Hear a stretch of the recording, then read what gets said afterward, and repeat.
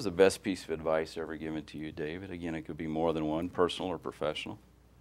Yeah, I think the idea of if you don't know where you're going, then you can't really get there. Okay. hits home with me. My dad was a big uh, proponent of setting goals, um, um, measurable, written down, and Mhm. precise. And and I've kind of followed that too. And it's nice, you know, just if all you ever do is just look at it and say, "Hey, I, I did that." You know, Mhm. a lot of times we forget to do that. To Mhm. say, you know, this was a goal I had. I, did, I wasn't sure if I could do it, Mhm. and uh, and I actually did it. And, a good point. And, and give yourself a pat on the back.